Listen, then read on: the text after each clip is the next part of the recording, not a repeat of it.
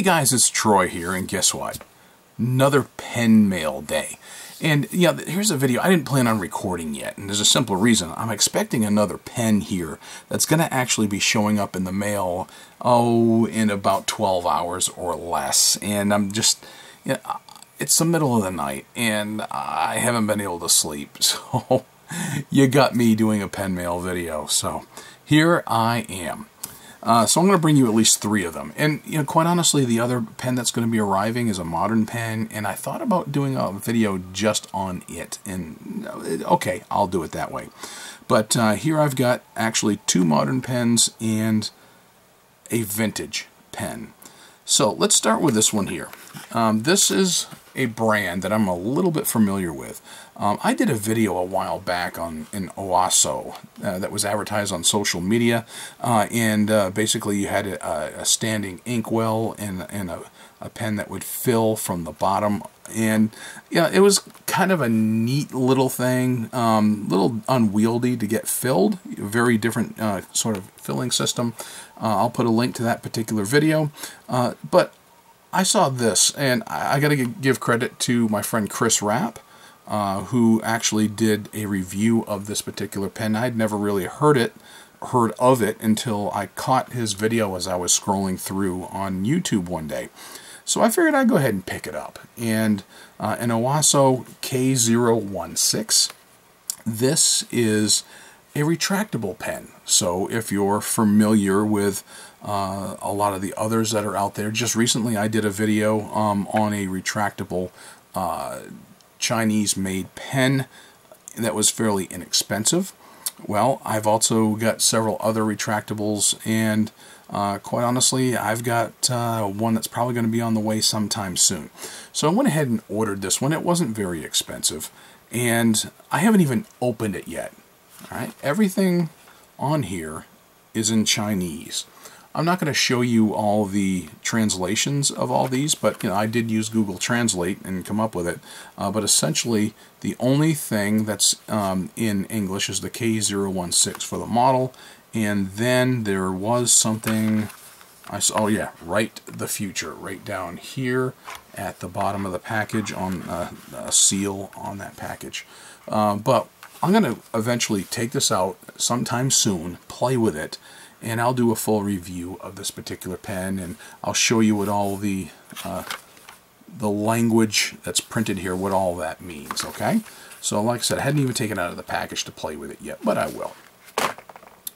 Another Chinese-made pen, and yes, that logo should and name should be familiar to you. Uh, this is one that um, a pen pal of mine had, and he uh, used two different versions of this particular pen to write a letter. I said, all right, I'm going to give it a try. And he'd heard about it from a pen pal of his. So I figured I'd order one, and I got it. And I see some other people who have recently ordered them, but the 9019 Jinhao.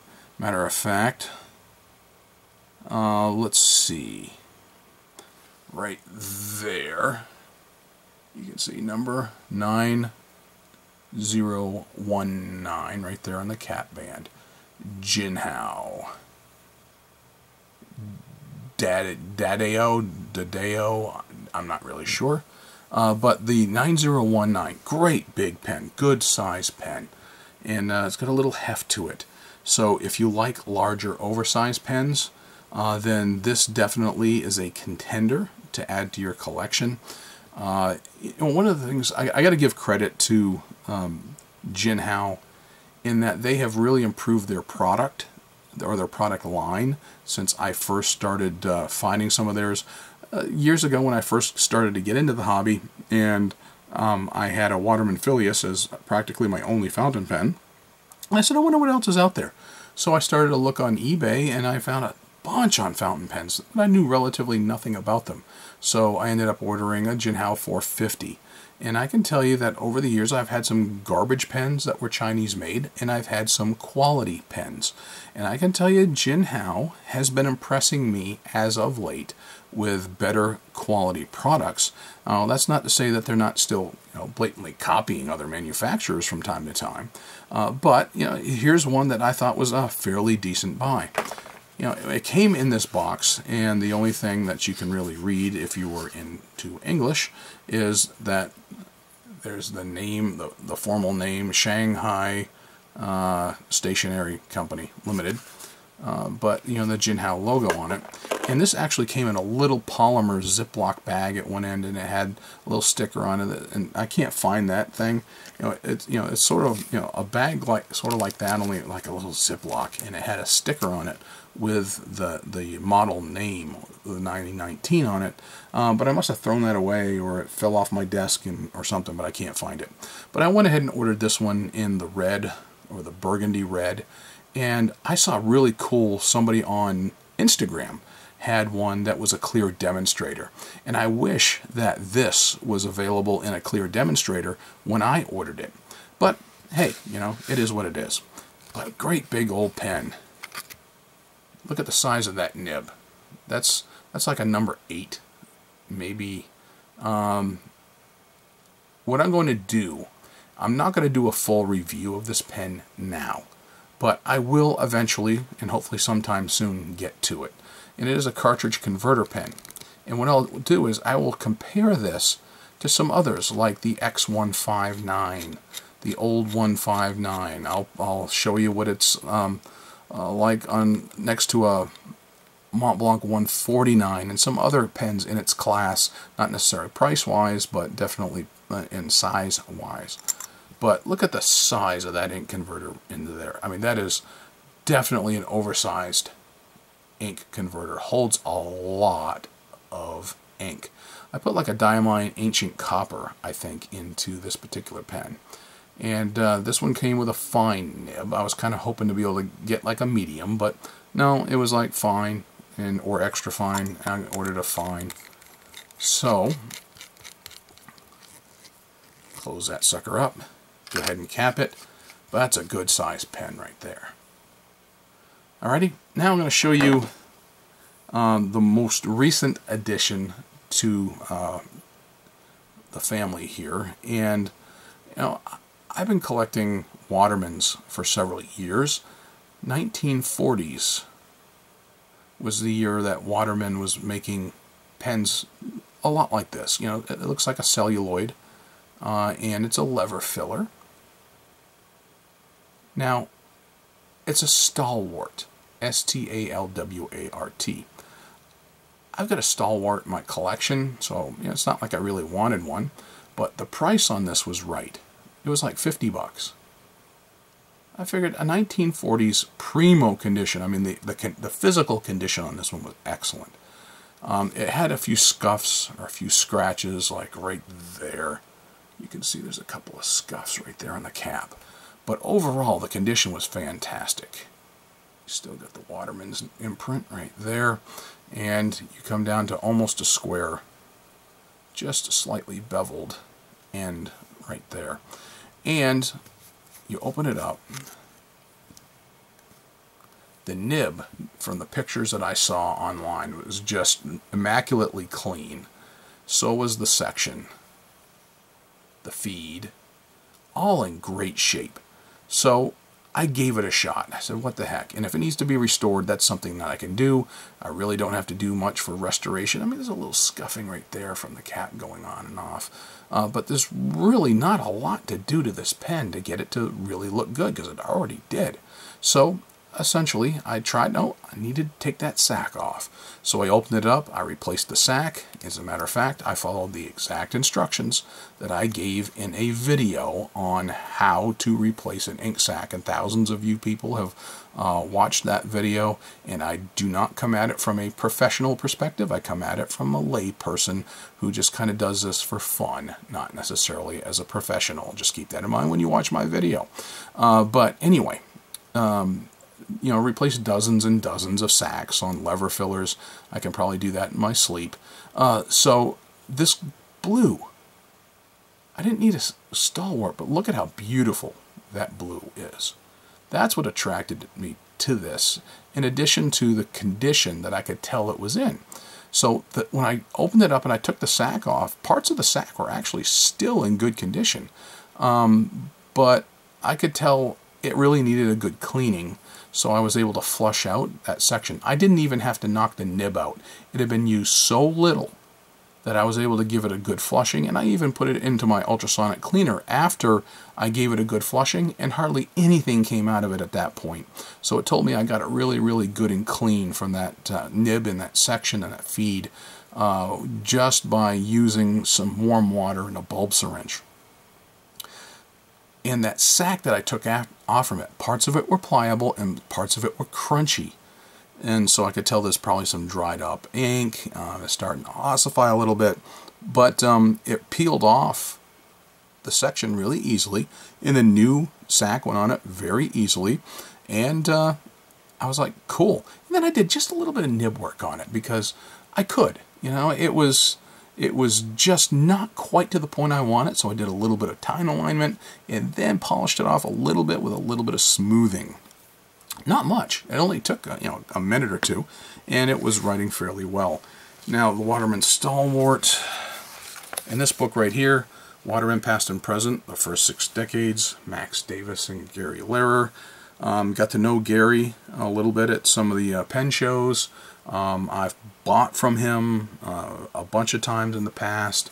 Uh, his widow, I see her at the DC Pen Show, the past couple of them, uh, and it's uh, it's always good to see her. But um, so looking at their book, 1940s pens, and you look over here in the stalwart. Here's the example that they've got of a stalwart. It's in green. Well, here's mine in blue. It's got that single ring on that cap. It's got that same kind of lever, roughly the same shape at the bottom. And it's got that, if you look, all these clips are very similar. But yeah, that's pretty much exactly as advertised, a Waterman Stalwart.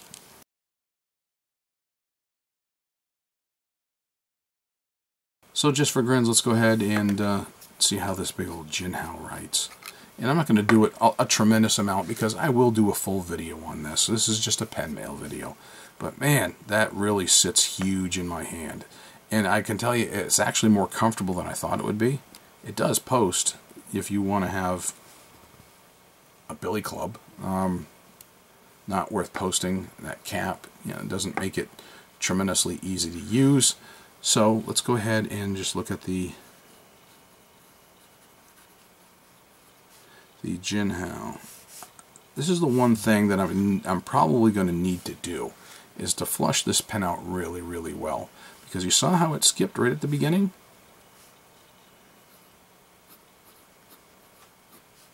right there. This is the one problem that I had. Actually, it's not the only problem. I'll tell you another problem here in a minute.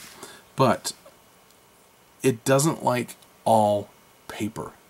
Believe it or not, on this Rhodia pad, and I've used it on Rhodia and I've used it on Clairefontaine, it doesn't so far like the slicker paper, but I'm wondering if I just go ahead and give this thing a really good flushing, if that will help.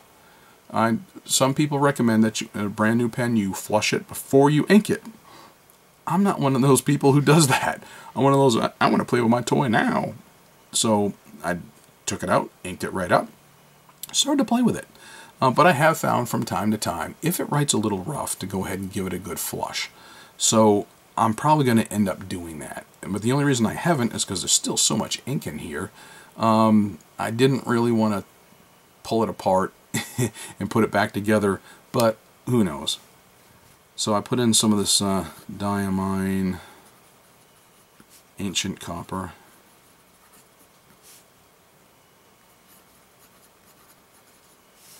Let's see how well it, uh, let's go this way, and see how it looks.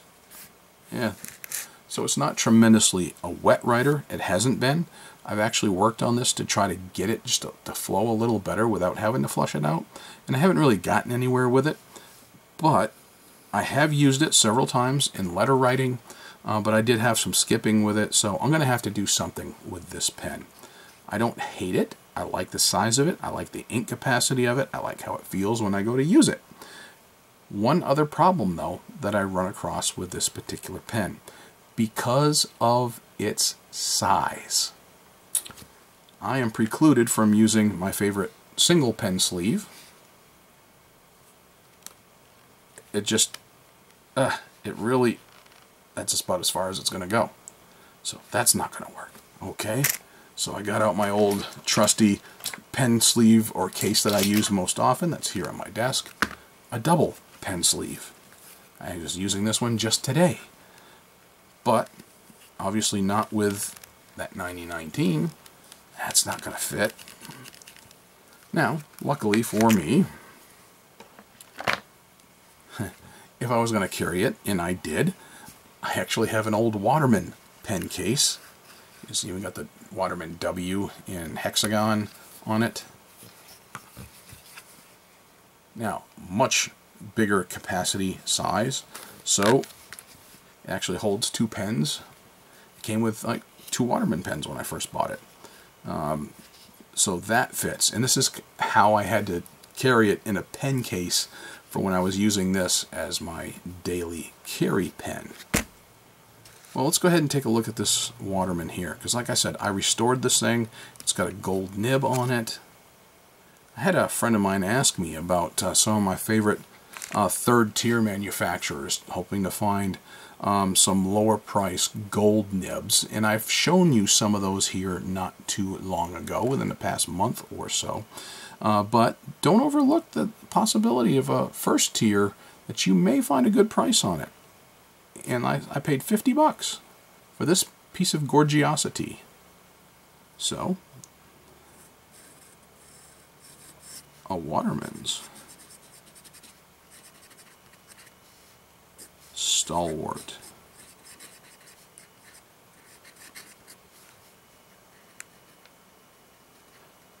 I mean, you can see that flex.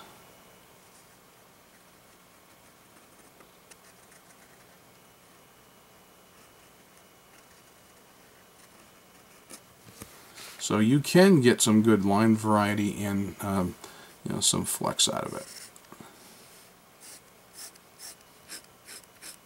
What did I put into it?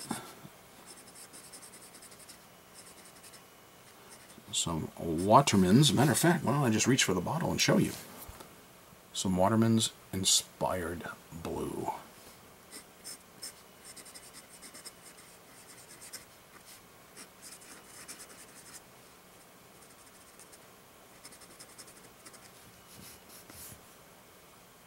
So there you go. There's my pen mail video. Just to let you know, the uh, the modern pen that's coming is another Waterman.